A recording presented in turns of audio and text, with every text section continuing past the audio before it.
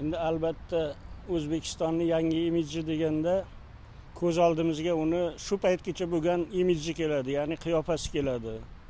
Albatta mustaqillikdan keyingi bo'lgan chorak asrlik vaqtda o'zbekistonni bu qiyofasi juda salbiy qora bir rangga bo'yalib ulgurdi jahonni ko'z o'ngida.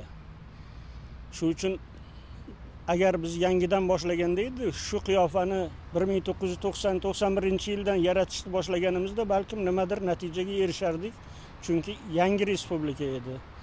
Endi biz nafaqat masalan hozirgi qilayotgan ishlarimizni ko'rsatishimiz kerak. Biza allaqachon shakllanib ulgurgan zolim totalitar avtoritar bir davlat degan qiyofasini o'chirib boshqa bir yangi davlat ekanligini ko'rsatishimiz kerak. Ya'ni bizani bu ishimiz yo'q joydan qiyofani bunyod qilish emas. Besonaqay johil bir allaqachon qurib bo'lgan binoni buzishni va yangisini qurishni taqozo qiladi. Bu ikki karra qiyin bo'lgan ish bugungi kun uchun.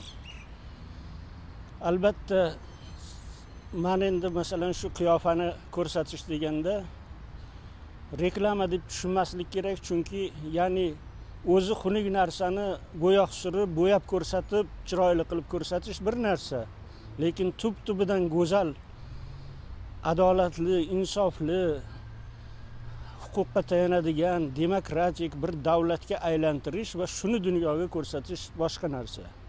Ya'ni avval bu qurayotgan islohot qilayotgan davlatimiz dunyo havas qiladigan dunyoni yetakchi rivojlangan davlatda bor bo'lgan dunyoviy qanaqadir demokratik huquqiy davlat bo'lishi uchun ijtimoiy himoya kuchli bir davlat bo'lishi uchun harakat qilishimiz kerak va shu davlatga aylantirishayotganligimizni va ehtimol qachondir aylantirishimizni jahonga ko'rsata bilishimiz kerak.